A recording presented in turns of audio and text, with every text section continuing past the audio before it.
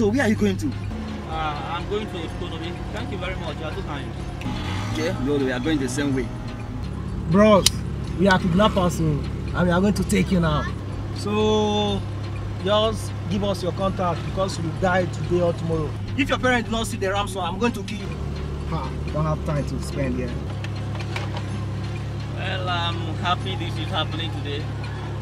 And the most important thing is that I won't be dying alone. I have been to churches today. I have been to seven mosques. I have been to schools, but it has not been a success. And I just decided to stand by the inside, and it has worked out perfectly well. With me here, I'm carrying a bomb, and it, it has been timed. It will be going off in two minutes' time.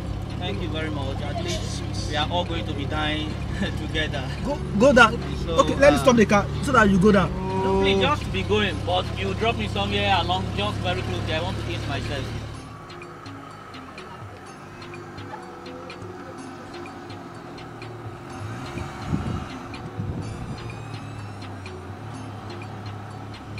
Please wait for me.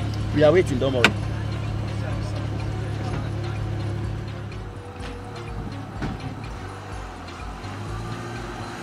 Wait for me,